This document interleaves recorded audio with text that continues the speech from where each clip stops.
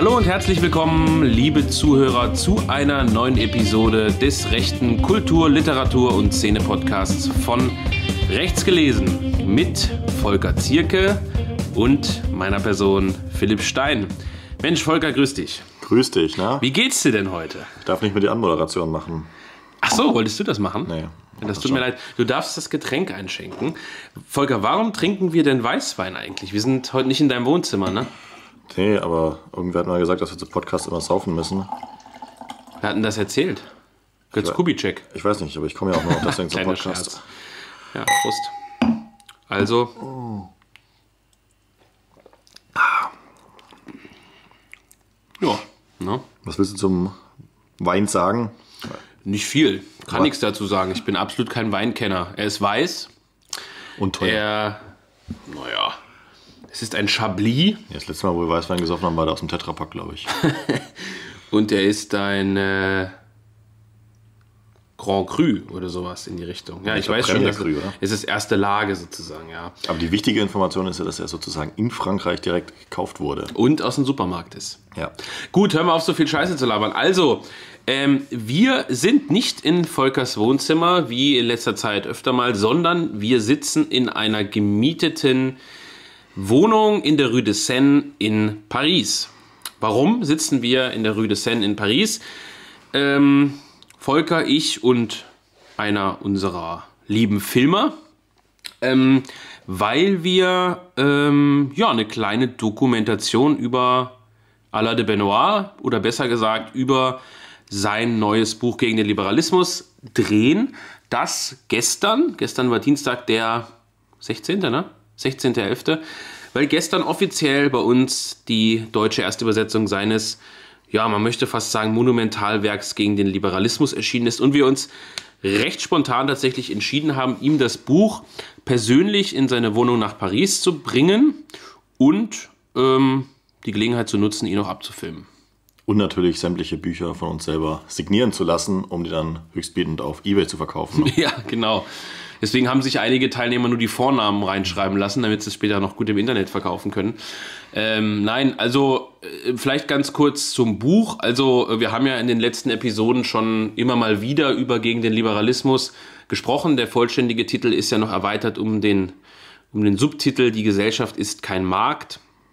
Ähm, wir haben, wie gesagt, in den letzten Folgen relativ oft immer mal dazu gesprochen. Und das Buch ist, wie gesagt, gestern offiziell erschienen, wurde aber schon in der vergangenen Woche an die meisten Kunden versendet. Und ähm, man muss einfach sagen, es ist ohne Zurückhaltung ein bahnbrechender Erfolg. Nicht zuletzt natürlich immer noch resultierend aus der ja, Aufmerksamkeitswelle äh, rund um die Frankfurter Buchmesse. Aber es kann nicht nur noch daran liegen, natürlich kommt jetzt in der Buchbranche langsam das Weihnachtsgeschäft, beziehungsweise befinden uns eigentlich schon sogar drin im Vergleich zu irgendwie Leuten, die ihren Kindern zu Weihnachten irgendwie Lego kaufen oder so, beginnt in der Buchbranche also die, die heiße Weihnachtsphase immer schon Anfang, spätestens Mitte November. Das heißt, da ziehen die Bestellungen nochmal an und wir haben eine ordentliche vierstellige Anzahl an ja, Exemplaren dieses Buches in der ersten Auflage gedruckt. Und ich darf, wenn ich von bahnbrechendem Erfolg spreche, sagen, dass die Erstauflage bis auf ganz wenige Exemplare, die wir für Privatkunden zurückgehalten haben, Privatkunden heißt Kunden des Jung Europa Verlags über die Internetseite, komplett ausverkauft ist. Also schon eine Woche bevor das Buch überhaupt bei mir angekommen ist in Dresden, war das Buch im Grunde genommen vergriffen.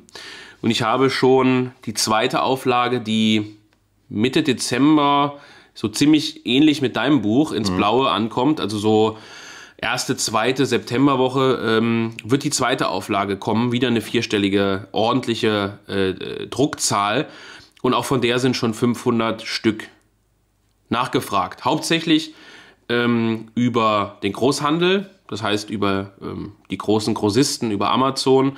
Aber auch wir haben im Vorverkauf eine ungewöhnlich hohe, ungewöhnlich erfreuliche Anzahl an Vorbestellungen gehabt, an Bestellungen gehabt. Wir sind, äh, haben eigentlich die komplette letzte Woche jeden Tag damit verbracht, von morgens bis abends Pakete und äh, Post zu packen. Teilweise haben wir 30, 40 Pakete oder Päckchen ich glaube, im ersten Rutsch 170 oder 180 Einzelbücher in ja, 15 oder 16 Postkisten zur Post geschafft. Also wir haben in der letzten Woche echt brutal verpackt und versendet und es sind immer noch nicht alle restlos verschickt. Einige wenige Nachzügler-Exemplare gehen ja morgen, übermorgen raus.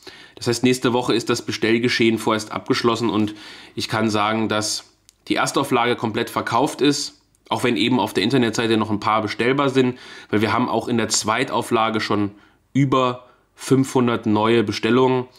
Ähm, ja, das heißt, Wahnsinn. Das Buch wird uns förmlich aus den Händen gerissen und obwohl es 412 Seiten ist, in Theorie äh, hat, in Theorie Schinken ist, 30 Euro kostet. Wahnsinn. Also weiß gar nicht, was ich dazu sagen soll, um ehrlich zu sein. Meinst du, es liest überhaupt wer? Puh, ja, nee, nicht viele, ne? Sieht schön aus, kann man sich schön in den Schrank stellen. Glaubst du? Naja, das Interessante ist ja, dass es, ähm, also ich, wir hätten ja eher darauf spekuliert, dass das jetzt bei Onfrei oder sowas äh, passiert, was ja, sag ich mal, sehr, sehr boomergerecht ist. Mhm. Ähm, und die ganzen Leute, die erst über die Buchmesse jetzt äh, von deinem Verlag erfahren haben, jetzt äh, mit so einem Buch einsteigen. Aber stattdessen gibt es ja mit äh, gegen den Liberalismus gerade den Umschl oh, wie sagt man da, Rundumschlag äh, gegen alles, was Boomer gut finden. Also es sind schon viele Neukunden dabei. Gerade nach der Buchmesse hat man gesehen, 300, 400 Neukunden kamen da dazu. Das kann ich ja in den Statistiken auslesen. Ähm, und du musst es auch so sehen. Ähm, du hast, sagen wir mal, eine Kartei von ein paar tausend Kunden. Hm. Die kriegen alle deinen Rundbrief. So, jetzt lesen natürlich nicht alle den Rundbrief. Aber nehmen wir mal an, alle würden den Rundbrief restlos lesen. Natürlich greift trotzdem immer nur ein kleiner Teil der eingetragenen Rundbriefempfänger, Kunden, Karteiempfänger auch wirklich zu. Mhm. Das ist immer so. Also ob nun äh, bei meinem Verlag, ob bei, was weiß ich, irgendwelchen anderen Produkten, ob auch bei 1% oder so. Ähm, immer nur ein ganz kleiner Teil wird sozusagen aktiv, wenn man das so nennen will. Und das heißt, äh, ich habe natürlich nicht nur Neukunden, ähm, ja, Neukunden dazu gewonnen oder wie du jetzt sagst, so klassische äh, Boomer-Kunden dazu gewonnen, sondern auch einfach ganz großer Teil ähm, der Kundenkartei hat zugegriffen, die sonst mhm. nicht bei jedem Buch zugreift. Das heißt, man hat auch sein eigenes Lesemilieu, das man über fünf, sechs Jahre jetzt aufgebaut hat, halt extrem aktivieren können für die Bestellung. Und ähm, bei, den, bei dem großen Teil, der über den Großhandel geht, ja, äh, da weißt du ja gar nicht, wer die Kunden sind. Also ich habe ja bei dem Großisten angerufen und habe gesagt, hören Sie mal, Sie haben jetzt hier so und so viel vorbestellt, das ist, ist ja eine ganze Palette. Äh, Gibt es da wirklich die Bestellung oder schicken Sie mir die zurück? Und die Frau hat zu mir gesagt, nee, wir haben hier 700, 800 Vorbestellungen alleine mhm. äh, bei Libri und äh, ich weiß nicht, wer das ist. Ganz ehrlich, also so blöd klingt, das können nicht alles Journalisten sein, das können nicht alles irgendwie Boomer sein, die, die äh, jetzt wegen der Grenzstreitigkeiten dann Polen aktiviert sind und sagen, jetzt kaufe ich mal ein rechtes Buch. Ich weiß nicht, wer das ist. Das ist ja interessant. Vielleicht kriegst du ja äh, nach der endgültigen Auslieferung ganz viele böse Leserbriefe von Leuten, dann reinschreiben in ihrem Buch gegen den Liberalismus, hetzen sie gegen den Markt, gegen den Markt und gegen die Wirtschaft. Das ist nicht hinzunehmen.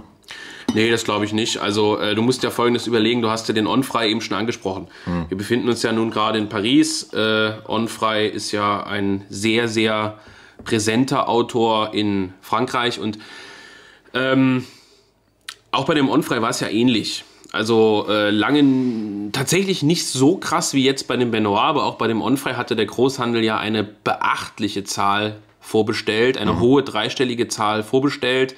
Das ging auch direkt per Palette sozusagen äh, in, ins Großlager. Auch da hatten wir ungewöhnlich viele Vorstell äh, Vorbestellungen, auch wenn nicht so viele wie jetzt bei Benoit. Und das Buch ist fast vergriffen. Also ich würde sagen, wir haben, auch da haben wir eine ordentliche vierstellige Zahl gedruckt und ich habe Jetzt vielleicht noch 50 bis 100 Stück im Lager. Hoffe, dass die für die Weihnachtszeit äh, reichen und überlege dann, ob wir eine zweite Auflage machen oder nicht. Denke schon. Äh, das heißt, ja, wir haben dieses Jahr generell gut verkauft und man kann auch sagen, ins Blaue, dein neuer Roman, über den wir in der letzten Episode gesprochen haben, der ja am 14. Dezember erscheint offiziell. Auch da kann man ja verraten, haben wir schon eine sehr, sehr ordentliche Zahl an Vorbestellungen dafür, dass es ein Roman ist dafür, dass, wie Benedikt Kaiser gesagt hat, ähm, ihn die Werbung null anspricht und er auch nicht weiß, wen die anspricht.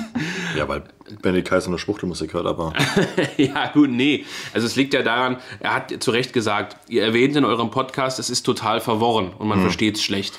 Äh, auf der Seite ist es das ist relativ das ist ein strategischer Thema, Fehler, ja. Da weiß ich nicht, ob das ein Fehler ist. Also wir haben ja gute Vorverkaufszahlen, also es scheint ja kein Fehler zu sein. Aber man muss es eher so sehen, trotz der Tatsache, ähm, dass es keine so reißerische Werbung hat, wo irgendwie steht dies und jenes ähm, und total leicht verständlich und das Buch gegen die Migrationskrise oder so, sind die Vorverkaufszahlen enorm gut und ähm, also im Verhältnis sozusagen. Und auch da werden wir eine richtig fette, eine richtig gute Zahl an Büchern ausliefern und die Vorbestellungszeit läuft ja noch. Ich meine, es läuft ja fast noch einen Monat. Ne? Ja. Können die Leute zugreifen. Macht das ins Blaue, kaufen, jungeuropa.de. Ich komme ja dann auch ins äh, Jungeuropa-Lager, wenn man das so sagen darf, und werde die dann signieren. Das können die Leute ja auch immer noch als Hinweis. Äh, das eintragen. könnt ihr in die Kommentare schreiben. Genau, schreibt da rein, hätte, gern, äh, hätte es gern signiert, hätte es gern gewidmet. Ich weise nochmal darauf hin, eine Signatur ist nur ein Gruß ohne Name. Eine Widmung ist eine Widmung. Das sollte man immer beachten, weil viele Leute schreiben dann irgendwie rein, ich hätte es gern signiert. Und dann denkt man sich, hm, will der jetzt den Namen haben oder nicht? Hm. Egal. Äh, weil viele verschenken ja auch so Sachen, gerade ja, zu ja, Weihnachten. Ähm, Fakt ist, wenn ihr schon bestellt habt und das noch wollt, schreibt uns noch eine E-Mail, wenn ihr es vergessen habt. Ansonsten, wenn ihr neu bestellt, schreibt es mit in diese Bestellkommentare. Gut, wir wollen aber über Frankreich reden. Also wir haben eingeleitet mit gegen den Liberalismus. Wie gesagt, enorme Bestellzahlen, äh, enorme Nachfrage. Die Diskussion um das Buch hat sich natürlich noch nicht entfaltet. Das ist seit gestern offiziell erschienen. Äh, so schnell ist da keiner. Ich kann verraten, wir haben das Buch auch an ein paar Rezensenten geschickt, wo ich mir vorsichtig erhoffe, dass es eine Besprechung gibt in der Mainstream-Presse. Sagen wir mal, die Zeitung, die doch hin und wieder mal uns erwähnen. Grüße an die FAZ. Grüße, ja, Welt, FAZ, NZZ, sowas.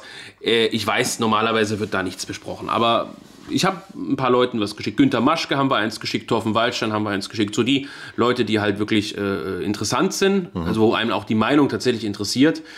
Und ein paar Leute haben mir schon geschrieben, so ja, bin schon bei Seite 100, bin schon bei Seite 150, bisher absolute Hammer mhm. und so weiter und so fort. Also ähm, Mini-Rückmeldung gibt es praktisch schon. Ja? Und jetzt aber zu unserer Reise. Also wir sind äh, aufgebrochen am Dienstag äh, Richtung Paris mit, von Dresden mit dem Auto tatsächlich. Nee, klar sind wir am Dienstag. Am Montag sind wir aufgebrochen. Natürlich. Deswegen runzelst du die Stirn. Am Montag sind wir aufgebrochen, sind irgendwie zehn Stunden gefahren, sind wie gesagt hier in der schönen Rue de Seine und ähm, sind seither fleißig am Filmen. Ja. Denn wir werden rund um das Buch gegen den Liberalismus eben so eine 10, 15-minütige Kurzdokumentation veröffentlichen. Und wann gibt es da was zu sehen? Weißt du schon? Ja, also äh, da gibt es dann äh, vermutlich irgendwann Anfang Dezember was zu sehen. Hm. Also so, wir haben jetzt alle so viel um die Ohren und wir haben das auch so irgendwie reingequetscht. Das heißt, auch für die Filmer, die natürlich auch ein festes Programm haben, feste Aufträge abzuarbeiten haben, ist das auch reingequetscht gewesen, ähm, weil wir einfach die Chance nutzen wollten, diese, diese Geschichte nochmal mitzunehmen. Äh, und ähm, das heißt, ich denke mal Anfang Dezember. Wir haben ja jetzt in den letzten Tagen viel Footage aufgenommen. Das heißt, wir sind ja durch Paris getourt. Mhm. Waren beispielsweise Notre Dame waren wir. Notre Dame haben wir uns angeschaut, die abgebrannte. Wir waren in La Défense, also dem, dem äh, ja, Büro- und Bankenviertel, haben dort die Negativseite Paris gefilmt. Eine der Negativseiten. Eine der Negativseiten. Ähm, was haben wir noch gemacht? Wir haben heute ein paar schöne... Sorbonne, das ist die Universität, wo Alain de Benoit studiert hat. Ähm, wollen ja. solche Sachen auf jeden Fall mit einbringen. Wir haben... Wir sind ja hier sozusagen in so einem Künstlerviertel, kann man ja sagen. Absolut. Rue de ja. hast du es gesagt. Ähm, es gibt hier viele so alte Cafés, so mit Jugendstilfassaden, wo Hemingway und, und äh, Solar und sowas alle früher gesoffen haben. Mhm. Und da sind natürlich auch zum Saufen vorbeigegangen. Ja. Aber wir haben nur Dosenbier auf der Straße gesoffen. Ja. Was eigentlich? Ach, Heineken, Heineken heute, ja. schrecklich. Ja. Gut, ähm, genau. Und wir haben viel so Footage-Geschichten aufgenommen. Wir haben dann zum Alain de Benoit Comba noch. Wir haben heute die La Nouvelle Librairie besucht. Die Telegram-Nutzer wissen es bereits. Genau, das ist also eine rechte Buchhandlung, die sehr, sehr schön gelegen ist, also in einem sehr, sehr zentrumsnahen, schönen äh, Stadtteil von Paris. Dort äh, ist eben diese Buchhandlung auf zwei Etagen. Es ist sehr, sehr klein, hm. aber hat einen unfassbaren Charme, finde ich. Innen drin ja. ist ja alles aus Holz, also wirklich so alte Holzregale. Es ist alles bis in die letzte Ecke mit Büchern vollgestopft. Es hängen, stehen Büsten rum, es hängt so ein Eber, Eberkopf hm. rum oben, ist alles mit antiquarischen Büchern vollgestopft. Also es ist wirklich ein charmanter kleiner Laden, den man sich unbedingt zu Gemüte führen sollte, selbst wenn man überhaupt kein Französisch versteht, aber in Paris ist, schaut euch einfach mal den Laden an. Die Verkäufer freuen sich, wenn man vorbeigeht und sagt, hey, ich bin rechts, ich habe von euch gehört, wollte einfach mal vorbeischauen. Vielleicht lässt man auch einen Solidaritäts-Euro da, weil... Gibt ja auch Kunstdrucke und sowas zu kaufen, das kann man alles mitnehmen. Genau, Kunstdrucke gibt es dort auch und... Ähm, ja, jedenfalls, man müsste fast mal einen eigenen Podcast so ein bisschen über die französische Szene machen. Ähm, und ja, also dieser Laden wird natürlich auch eine brutale Miete bezahlen. Ja. Ich weiß auch aus sicherer Quelle, dass die nicht nur von Buchverkäufen leben, heißt auf Deutsch, da gibt es auch Förderer, die halt gewisse Kosten übernehmen.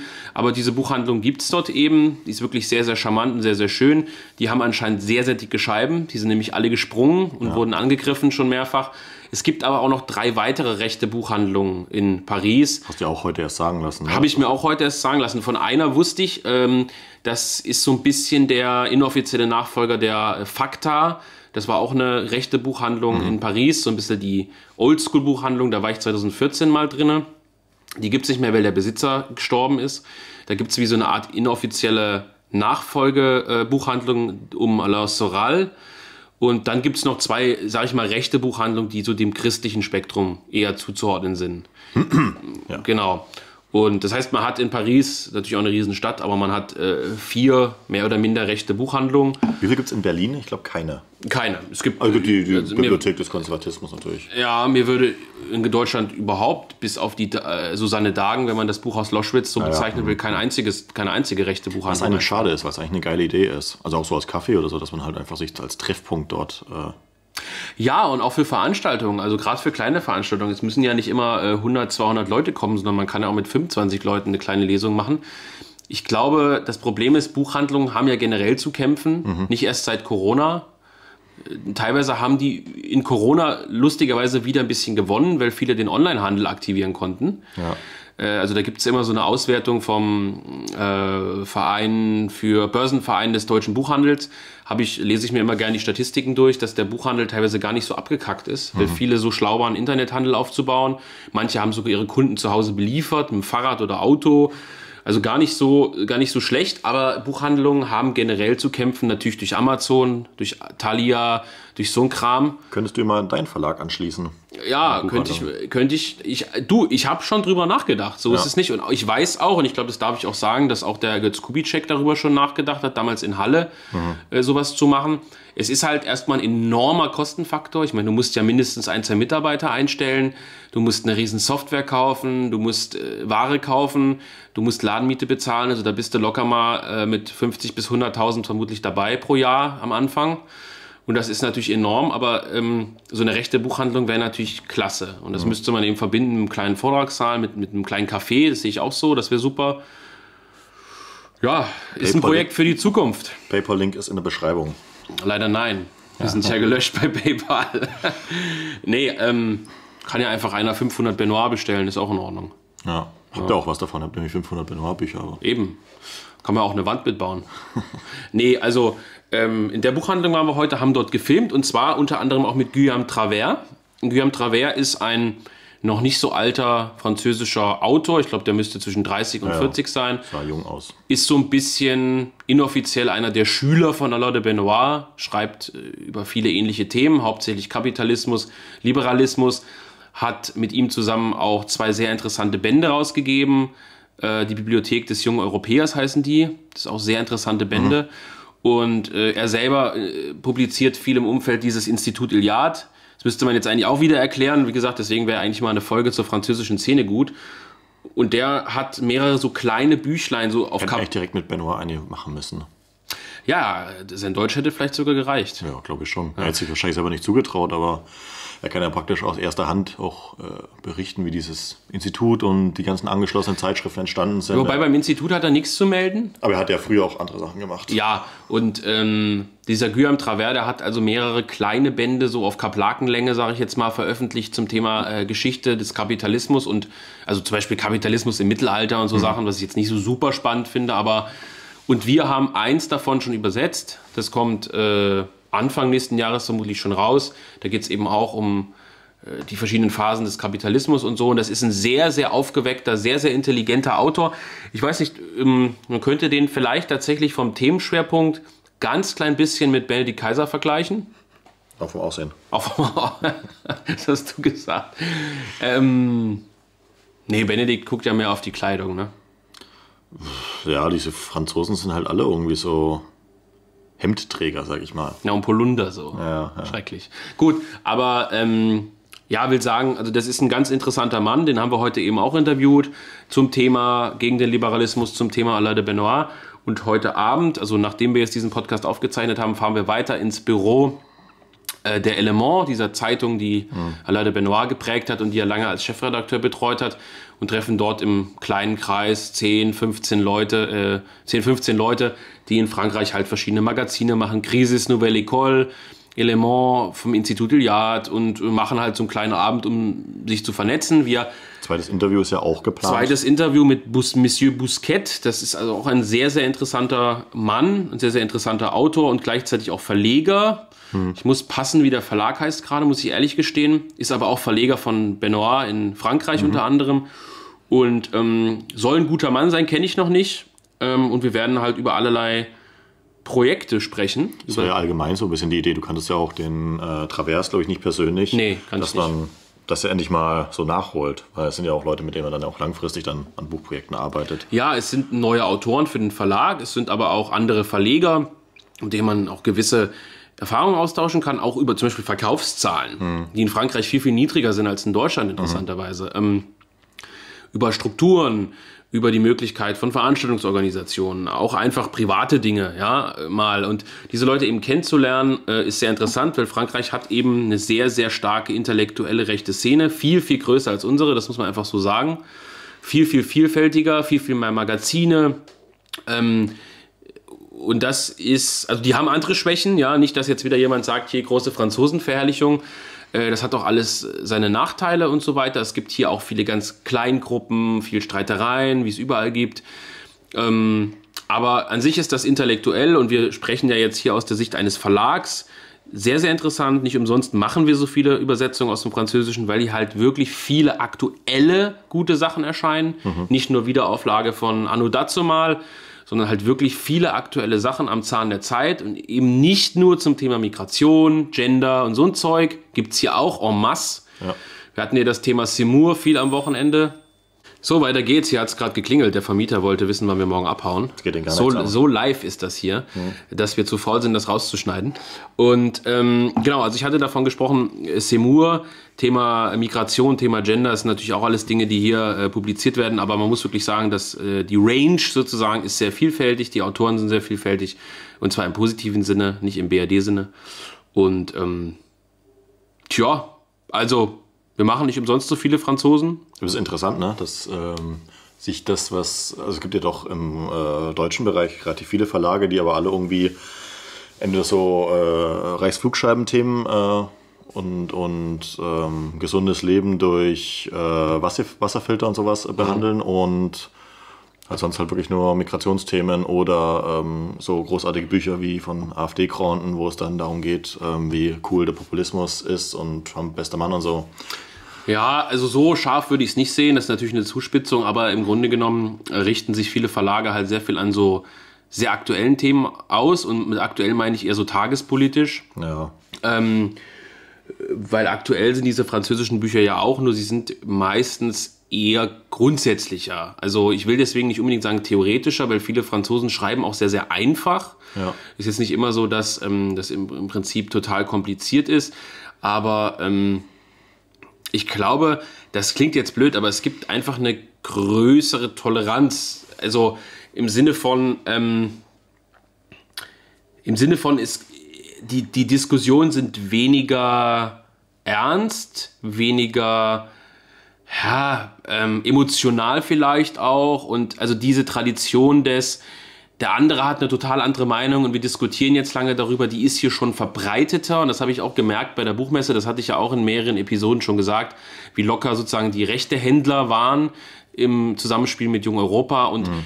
ähm, ich will das jetzt nicht zu sehr verallgemeinern, aber hier kann theoretisch ein Wähler von Semur und ein Wähler von Macron halt trotzdem sich in der, ich sage jetzt mal Kneipe oder in einem Bistro kennenlernen und zusammen Wein trinken und darüber diskutieren und sich da vielleicht fetzen. Und dann sagen sie halt, komm, jetzt lass über Fußball reden und gut oder über irgendwas anderes. Und in Deutschland ist der Diskurs schon deutlich verhärteter. Die Fronten sind irgendwie, die sind irgendwie krasser und das gilt auch für die rechte Szenerie. Ähm, ich meine, irgendein Linker, der sich das anhört, der wird ja immer denken, natürlich kennen die von dem Europa-Manuskriptum, natürlich müssen die diese Grauzone kennen, vermutlich mhm. haben die was mit Anbruch zu tun. Jetzt nur mal ein paar Beispiele von verschiedenen Richtungen reinzuwerfen und am Ende kennt man doch, also man kennt die Leute im Sinne von, ich habe die mal gesehen, ich habe vielleicht dann mit denen gesprochen auf irgendeiner Veranstaltung, aber diese Vernetzung, und das kann man glaube ich so sagen, beschränkt sich ja dann doch hauptsächlich zumindest auf einen ähnlichen inhaltlichen Kreis. Und ich würde mal behaupten, das ist in der Gesamtgesellschaft in Frankreich, aber auch eben dann in dieser rechten Szenerie lockerer. Und das lässt sich auch beweisen in der Hinsicht, dass Alain de Benoit auch ähm, Interviews geführt hat, selber interviewt wird, ähm, von Linken, von Liberalen, immer wieder Zuspruch von Linken bekommt, aber auch andere rechte Autoren sozusagen ähm, es gibt einfach einen vielfältigeren, toleranteren, offeneren intellektuellen Diskurs. Mhm. Und das ist dann vielleicht auf einer intellektuellen Ebene und man kann auch sagen, das ist nicht so schön, weil dem Ganzen vielleicht ein bisschen der Ernst manchmal fehlt, wenn man halt sagt, naja, das ist halt eine intellektuelle Position. Aber dieses Aushalten können anderer Meinungen, Thema Buchmesse, gab es ja viele Diskussionen, das ist hier einfach verbreiteter und das würde ich schon so pauschal sagen. Und das führt eben dazu, dass die Einflüsse auf äh, ein schreibendes und publizierendes Milieu größer ist und dass die Ränder weitergehen. Oh. Ja, ist ja erstmal schön, ja. Grundsätzlich schon. Sind wir gespannt. Ähm, äh, immerhin steht ja auch nächstes Jahr eine Präsidentschaftswahl an. Mhm. Ähm, ich glaube im Frühjahr sogar. Sechs Monate. Ich weiß es nicht mehr. Ja, ich glaube sechs Monate. Im März etwa, könnte das äh, sein, wenn ich mich nicht irre. Wäre auch eine schöne Folge. Wir müssten eigentlich eine Erik Seymour-Folge machen. Äh, ja, müssten wir wahrscheinlich weiter. Weil wir beide ja, glaube ich, keine Riesenfans sind. Ich habe mich damit, also ich, ich kenne mich mit französischer Politik überhaupt nicht aus, muss ich sagen. Äh, interessiert mich auch fast gar nicht. Das ist ja auch wirklich ein sehr, sehr komplexes Thema. Also die meisten Leute haben ja schon von deutscher Politik keine Ahnung. Ja. Und ähm, dann auch noch über französische Politik zu reden, aber da bräuchten wir vielleicht wirklich mal einen äh, Experten, wie zum Beispiel den äh, Genossen, den wir getroffen haben, der uns heute ein bisschen so durch Paris geführt hat. Ja. Der mal sich mit uns hierhin an den Tisch sitzen würde und ein bisschen mal aus der Westentasche plaudern würde. Ich meine, er kennt Frankreich sehr, sehr gut, er ist selber Franzose. Er hat ja auch viel für die Front National in der Jugend gemacht. Genau, und ähm, gerade so Sachen sind ja die interessanten, also eine Intro-Perspektive. Ja, aber wir sind ja, ich sag mal so, wir sind ja auch dafür bekannt, gewisse rechte Dogmen zu durchbrechen und Eric Semur wird natürlich gerade massivst abgefeiert. Hm. Äh, halt wegen dieser sehr, sehr scharfen, klaren Statements, die man ja auch begrüßen kann zum Thema Migration. Aber man muss natürlich immer so ein bisschen dahinter blicken, wer ist das eigentlich, wo kommt der her, was hat der vorher für Themen bearbeitet, hat der ein Programm? Dann wäre es ja auch tatsächlich in, in, Frankreich was anderes, wenn du sagst Ausländer raus, als wenn du es in Deutschland sagst. Also ja, natürlich, aber äh, die Frage ist ja, hat nicht eine Le Pen äh, ein vollständiges Programm, ein Sozialprogramm, ein Ausländerprogramm und ist Seymour nicht einfach ein Populist, der die Stimmen spaltet und dazu führt, dass wieder Macron gewählt wird. Ja. Aber wir wollen das ja jetzt nicht vertiefen, erstmal in dieser Folge. Wir wollen vielleicht noch berichten ähm, vom Besuch bei Leute Benoit. Ich glaube, das wird viele Leute sehr, sehr interessieren. Ja. Was war denn dein Eindruck? Er hat sehr, sehr viele Katzen. Wie viele Katzen haben wir gesehen? Also ich habe ich hab drei gesehen. Drei Katzen. Irgendwer sagte, dass es mindestens fünf sind. Ähm es gibt ja viele Katzenliebhaber in der französischen Rechten. Wenn ich Allgemein an, in der Rechten. Wenn ich an Pierre de la Rochelle denke, beispielsweise, viele Katzenbilder. Wer fällt uns da noch so ein? Also, wie gesagt, für Frankreich kann ich nicht sprechen. Ich weiß, dass äh, Lovecraft ähm, eine Katze hatte mit einem sehr lustigen Namen.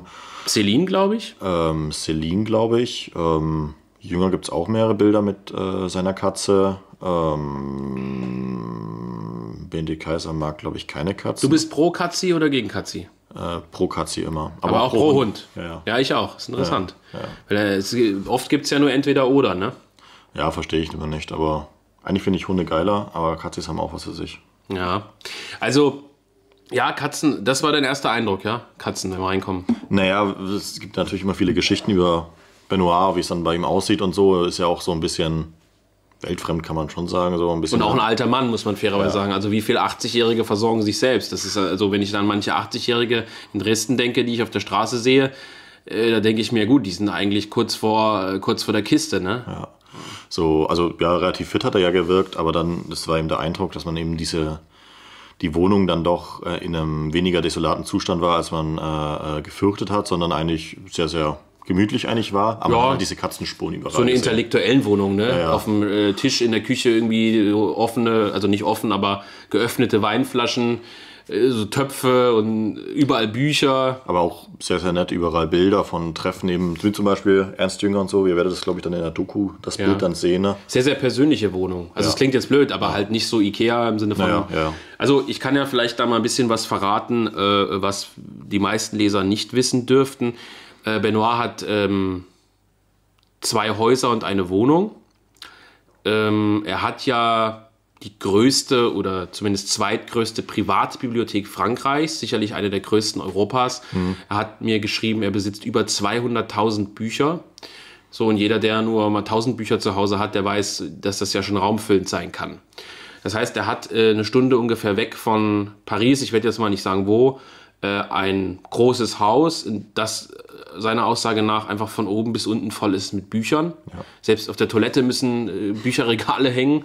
Und er hat noch eine andere, ein anderes Haus oder eine Wohnung, weiß ich nicht genau, in der Normandie, wo er auch viel ist. Und dort hat er eben natürlich auch noch Bücher, das ist überall verteilt, aber hauptsächlich dort eben in der Nähe von Paris. Und wo er auch immer viel ist. Also, und in Paris hat er eben diese Wohnung, wo wir ihn jetzt besucht haben. Das ist in einem, ja, schönes Viertel, würde ich nicht sagen, aber auch nicht, also noch nicht kritisch. Man sieht schon ziemlich viele Ausländer, auch, auch von den Ladengeschäften, aber es ist noch, würde ich sagen, äh, am Rande des, des Stadtkerns. Es ist jetzt nicht so, dass man sich unter Paris mal vorstellt, hier so äh, Jugendstil oder Nee, Gründerzeitbauten, das sondern nicht. sehr. Oh, vereinzelt, aber sehr gemischtes Viertel, also schon halt so ein, so ein mittelprächtiges Wohnviertel, würde ich irgendwie sagen. Ja. Und äh, da lebt er eben in, äh, unter der Woche, das ist sozusagen seine Arbeitswohnung. Und dort waren wir eben eingeladen, ihn zu besuchen, um ihn zu filmen. Also wir haben circa eine Stunde Interview geführt, hauptsächlich eben Thema gegen den Liberalismus, sein neues Buch. Haben ihm das Buch eben vorbeigebracht, haben es für einige Kunden signieren lassen, haben es für uns signieren lassen, haben seine Reaktion äh, beobachtet auf das Buch. Er war ja anscheinend sehr zufrieden mit der Aufmachung, Ja. mit der Qualität. Und ähm, Kann man ja auch mal äh, dazu sagen, so wie die anderen Bücher aussehen. So, also ja, die Frankreich. französischen Bücher sind eine Katastrophe. Das sieht aus wie zusammengebundenes Klopapier. Ja, ja, aber auch so Softcover, riesengroß und ja, also Ja, billigstes Papier, dann teilweise teurer als in Deutschland, obwohl die. Also ich meine, äh, die, die das verlegen, sind klasse Leute, aber da muss man mal sagen, was die Buchkunst angeht, ist das wirklich unterstes Niveau. Das ist halt so. ja. So, und ähm, ich glaube, die Leute gieren natürlich so ein bisschen aus, auf, auf das Private. Also die Wohnung war recht klein. Ja. Ich denke mal eine Drei-Zimmer-Wohnung oder so. Ähm, und ja. das Größte war anscheinend das Wohnzimmer, das ist ja da, wo wir uns aufgehalten haben, auf diesen Ledersofas, wo halt sein Mac stand mit dem Arbeitsplatz. Und da hingen eben sehr persönliche Fotos von ihm mit Ernst Jünger, wo er noch ziemlich jung war. Hat er erzählt, das war, glaube ich, in Nizza auf irgendeiner Buchmesse. Ja, genau. Dann hing ein Bild von Breker. von Breker, den er auch sehr, sehr gut kannte seit den 70ern, sagt er. Also er Das war mir signiert, also eine Fotografie und das hing ja auch ein Bild von Breker selber. zwei, zwei äh, Aktzeichnungen waren das, glaube ich, von Breker. Ja. Mhm. Breker wissen ja viele nicht, dass Breker auch viel, viel, viel gezeichnet und gemalt hat. Ähm, viele nackte Frauen, ja, das scheint Benno auch zu gefallen. Wer kann es ihm verübeln? Weil die eine war so sehr füllig ne, auf dem Foto, aber gut. Ähm, ja, es war Gustav Klimt, äh, Gustav Klimt, vermutlich ein Original, weiß ich nicht, auf Deutsch. Ähm, was war noch? Ein, ein für ihn signiertes Bild von Iliad, ich auch. Wahnsinn. Ja, und viele andere persönliche äh, Stücke, so Erinnerungsstücke. Und äh, ja, hat auch erzählt, dass er jünger, äh, jünger, dass er äh, Arno Breker gut kannte, viel in Düsseldorf bei Breker war, Breker bei, viel bei ihm in Paris. Auch eine sehr interessante Geschichte, die man auf jeden Fall mal aufrollen muss. Das Verhältnis Benoit Breker, das, das ist ja Können auch an sich mal eine Folge über Breker machen. Ist ja trotzdem, also ist ja nicht super. unumstritten, aber ähm, hochinteressant, denke ich. Und wir würden aber vielleicht mal ein Feld bedienen, das wir jetzt noch gar nicht mal angesprochen Ja, gute Idee. Und ähm, ja, jedenfalls, äh, das war sozusagen der Besuch dann bei Benoit. Wir haben, wie gesagt, erst viel geplaudert, dann auf Deutsch. Da hat er tatsächlich, auch, also ich fand, er hat eigentlich für einen 80-Jährigen, um das mal so, ohne das herabwürdigend zu meinen, wirklich gutes Deutsch gesprochen. Ja, ja. Seine Frau war ja Deutsche. Er hat ja in Hamburg geheiratet. Ist wahrscheinlich auch noch Deutsche. Ist noch Deutsche, ja. Er hat in Hamburg geheiratet, war sehr, sehr, sehr viel äh, in Deutschland äh, in den letzten 40 Jahren oder wann. Also ich weiß nicht, fürs Interview hätte es vermutlich nicht gereicht. Hat er ja auch gesagt, dass ihm das äh, nicht lieb ist, bei so komplexen Fragestellungen da jetzt in Deutsch zu sprechen. Aber wir haben ein paar Szenen auch mit Deut auf Deutsch aufgenommen und mhm. ähm, hat sich da gut geschlagen und dann eben das Interview geführt. Ähm, viel seine Wohnung abgefilmt und halt über dies und jenes gesprochen. Ja. Ne? Und also für diese 80 Jahre sehr, sehr fit gewirkt, fand ich.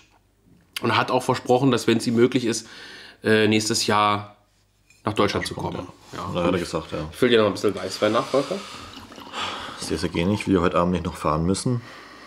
Ich glaube nein. Also mit dem Auto in Paris ist natürlich echt äh, selbst äh, in den Kopf geschossen, ne? Also selbst schuld eigentlich. Aber gut, wenn man das Kamerazeug. Man muss eine kriminelle Ader haben, um da durchzukommen.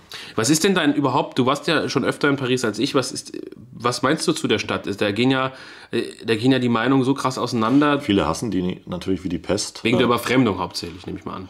Ja, was heißt Überfremdung? Es sind ja alles Franzosen, muss man ja auch mal so sehen. Äh, ja, ist das so? ja, naja, gut. Ja, es gibt natürlich die Hotspots, ähm, Eiffelturm und sowas, ähm, will ich mich auf jeden Fall fernhalten von. Und, aber es, Paris hat irgendwie ein ganz besonderes Flair. Das klingt jetzt so, als hätte man irgendwie äh, äh, zu viel Amelie-Filme geschaut, äh, die so ein verklärtes Bild von Paris immer zeichnen, wo dann alle mit so einer Ente rumfahren und äh, irgendwelche französischen Melonenhändler draußen stehen und äh, sich in Watermelon. sich in lustiger Sprache äh, begrüßen und so. So ist es natürlich nicht, aber ähm, fast ja auch wie in Rom an jeder Stelle irgendwie äh, geile Architektur, ähm, stehen hier eben noch viele Gründerzeitbauten im Stadtkern, viel Jugendstil, viele Kirchen, äh, die Seine ist einzigartig, kann man sagen. Ja, wir haben uns natürlich jetzt, muss man fairerweise sagen, überwiegend ein bisschen in so einer Traumwelt bewegt, weil wir ja. haben uns wirklich im, in dem Teil Paris bewegt, in dem sich kein normaler Mensch irgendeine Art von Wohnung oder Haus leisten kann. Äh, wir hatten, glaube ich, mal geguckt, der Quadratmeter in Paris liegt im Durchschnitt bei 10.000 Euro im Kauf mhm. und bei, oh, ich weiß nicht mehr, wie viel Euro Miete.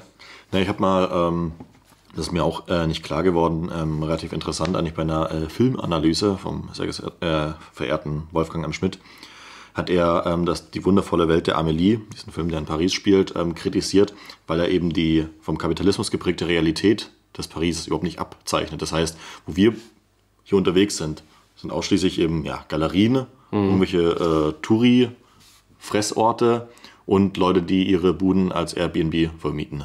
Aber die Realität von den meisten Franzosen spielt sich ja in ganz anderen Zuständen. Ja, absolut. Und äh, man muss ja auch sagen, also gestern waren wir essen, diese Preise sind, also wenn jemand sagt, Rom sei teuer, ja, ja. also es ist krank. Also ja. da, du bezahlst, also wir haben ja wirklich für ein Bier 10 Euro bezahlt, hm. äh, jedes Gericht 30 Euro, Nachspeise 15 Euro.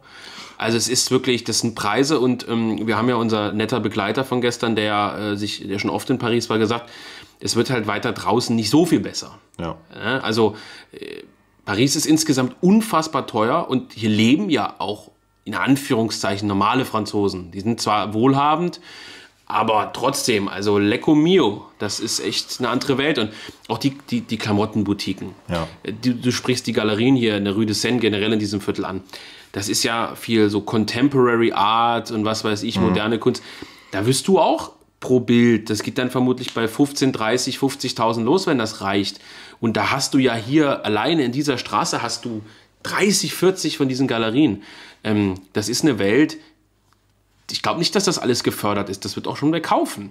Ja, Nur, ähm, es ist, es ist wirklich äh, Puppenhaus. Ne? Also das ist so Zuckerguss Paris halt irgendwo. Naja, deswegen ist es ja auch so interessant, ähm, so ähm, Gelbwesten und, und sowas, oh. die sich auch viel, ähm, sag ich mal, von der Peripherie gegen ja, ja. Äh, Zentralparis so gerichtet haben. Eine ganz interessante Dynamik äh, in Frankreich selber. Ähm, aber ich finde Paris Pariser nicht schlecht. ist ja auch verhasst, ne? Ja. In Frankreich. Aber ich muss auch sagen, unabhängig jetzt dieser Kritik, wenn man jetzt einfach die Realität, der Realität ins Auge blickt und sagt, gut, das ist halt äh, eine Zucker, Zuckerguss-Szenerie, äh, ist es traumhaft schön. Ja. Also äh, gibt es nichts anderes. Also es ist eine halt gut, ja. wahnsinnig schöne Stadt. Und trotz dieser, trotz dieser äh, wahnsinnigen Finanzgewalt ist es trotzdem urig. Also in mhm. der Hinsicht, dass man schon sieht, gut, die Galerie, da hängen vermutlich Bilder, die du dir nie leisten können wirst, die sich irgendwelche Schnösel mit Pelzmänteln kaufen.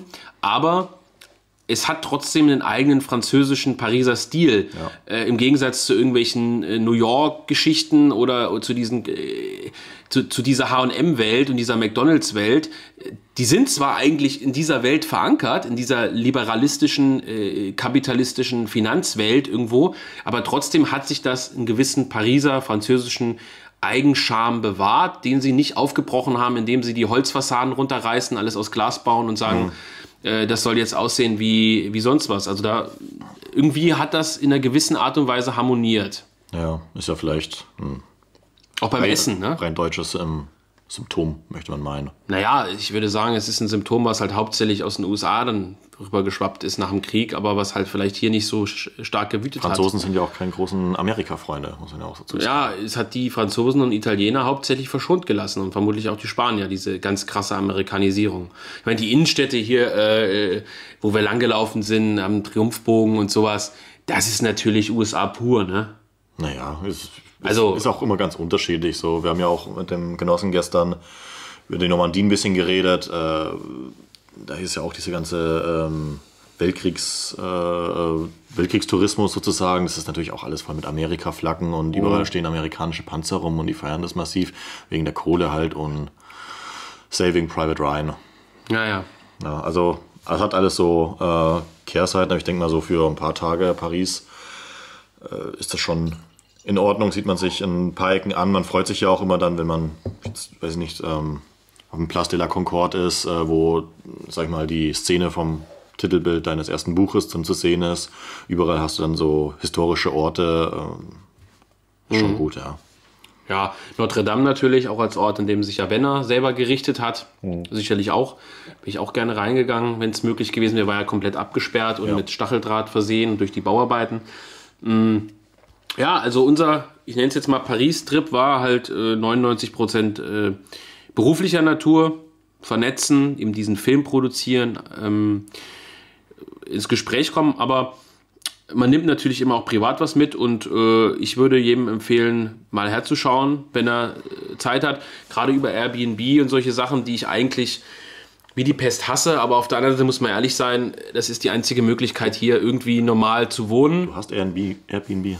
Ja, ich hasse es schon, natürlich, weil es dazu führt, dass ähm, dass sich Leute, äh, also hier in dem Fall äh, zum Beispiel bei, bei, diesem Mann, der uns das hier vermietet, da könnte ich mir vorstellen, dass der das, äh, also wir haben es ja gestern gehört, dass in Paris die Wohnungen in den 60er Jahren brutal günstig waren und sich mhm. deswegen ganz viele Leute kleine Pariser Wohnung gekauft haben. Kann ich mir vorstellen, dass der Mann das vielleicht von seinen Eltern geerbt hat, wohnt selber drüben in einer kleinen Wohnung, der wohnt ja hier nebenan ja. und das Ding hier vielleicht ausgebaut hat über Jahre und jetzt vermietet. Meine Güte, was dagegen zu sagen, der verdient sich was dazu, überhaupt kein Thema. Aber man muss natürlich sagen, Airbnb war ja früher in dem Sinne nur privat, also so gedacht äh, von eben genau, was wir hier erleben.